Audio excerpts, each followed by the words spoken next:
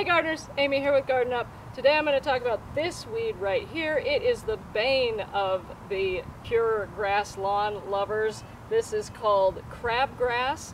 There are potentially two species, Digitaria ischaemum or Digitaria sanguinalis.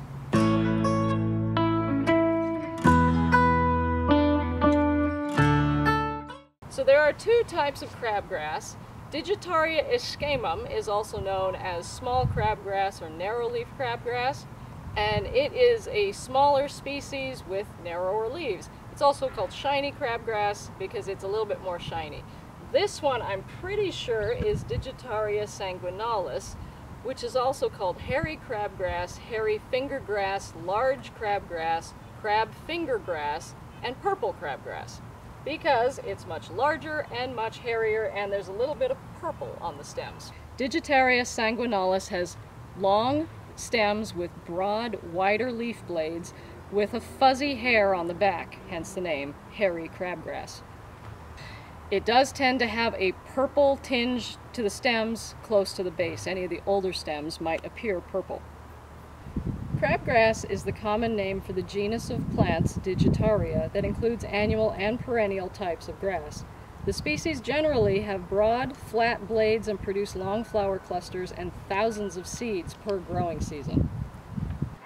Digitaria sanguinalis is an annual grass with an inflorescence of up to nine very long, very thin, radiating branches atop its stems. Each branch is lined with pairs of very tiny spikelets. The inflorescence may be reddish or purplish. All crabgrasses tend to grow outward rather than up like most grass. And at each joint, at each leaf joint, it has a potential to root. Crabgrass does not have underground creeping rhizomes. What it has is stems that can become stoloniferous. What that means is each stem, wherever it's touching the ground, if there's a node, it can grow its own roots. Digitaria ischaemum is a species of crabgrass known by the common names smooth crabgrass and small crabgrass. It is also native to Europe and Asia, but is known throughout much of the warm temperate world as an introduced species, and often a common roadside and garden weed.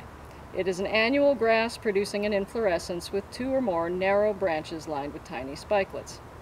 The life cycle of crabgrass is an annual grass. It lives for one season, it spreads its seeds and returns the following year by seed. In the beginning stage, the crabgrass seedlings resemble miniature corn stalks. Then the leaves start to branch out. Crabgrass becomes more problematic in the summer because these weeds thrive in hot, dry weather. It is drought tolerant and is often the last green thing on the lawn before the late fall frost finally kills the stems. There are several ways to control crabgrasses, even in lawns. You could do a pre-emergent herbicide if you want to go that route and kill everything that's a seed. You could also do a selective herbicide that kills only crabgrass or broadleaf plants, but again, you have to have only a grass lawn if you're trying to grow clover or any other thing in your lawn. That is not the good solution.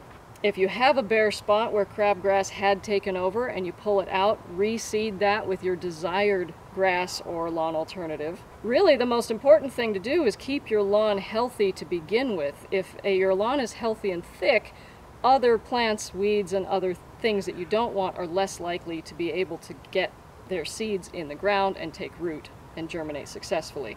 You can hand pull large seedlings and you can remove dead crabgrass plants because that even the dead ones will smother the nearby grass. If it's a non-lawn area like your garden, utilize mulch. The best kind of mulch is arborist wood chips. They are the best at suppressing weeds while at the same time feeding and keeping the soil healthy and letting water through, unlike other mulches, which I can get into in another video. You could also try to use vinegar or boiling water. However, most the, there is no real science on vinegar or boiling water, and most of the success stories are anecdotal. Yes, they do tend to work, but they are contact only. Vinegar will kill anything green that it touches, but it won't kill the roots. Crabgrass, that's not as important as it's an annual weed with a fibrous root, so you're not really trying to get you know, kill the whole root. It shouldn't come back. Uh, boiling water is supposed to kill the roots. But the thing is, both of those will also kill everything around it, everything else that it touches. So you're going to have a big dead patch in your lawn if you use those two, which is why I would highly recommend not using vinegar or boiling water in this instance.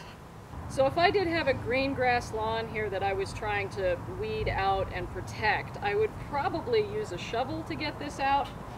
I really don't do much gardening in lawns. I, I do pull weeds out of it though. But if you use a shovel, you just come a few inches away from the base, and you should be able to extricate these roots from the roots of your Kentucky bluegrass, or your fescue or your rye or whatever your lawn is, if you just loosen up the soil around this. So I want to find the center, put my shovel a couple inches away,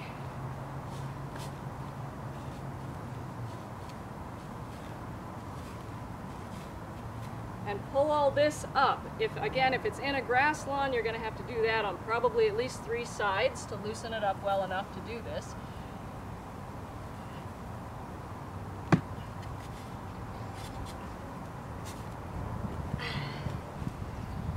go.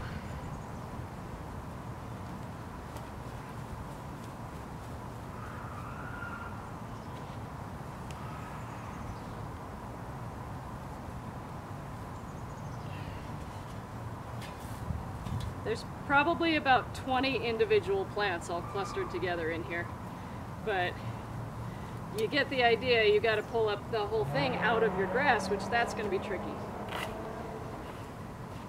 Okay, so you're going to find the center of the weed, put your shovel a few inches away so you don't cut the roots, but instead you, you dig right next to them. And if this is in a lawn, you're going to need to do this with a shovel on probably at least three sides to loosen it up enough to be able to pull this up and get it out of the rest of the grass roots.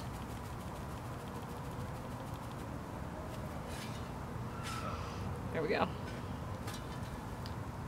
All right, you could also try a garden fork. What this will do is loosen the soil around the roots without actually cutting through the soil and cutting the roots. And again, in a grass lawn situation, this might be an easier way to tackle this.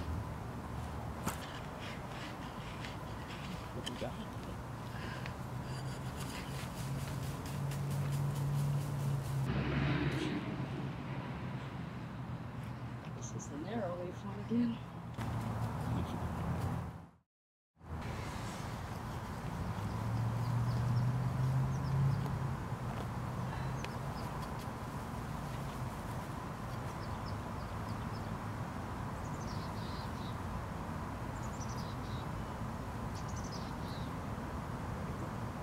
I have both species. Look at that. wow. This is the shiny one. This is the hairy one. So thanks for watching this video, everybody. If you learned something and you liked it, make sure to tell me by hitting the like button. If you have any questions, leave them in the comments down below. And if you have not already subscribed, please do that so you get more gardening content like this in your video feed every week. Thanks again for watching. I'll see you in the garden.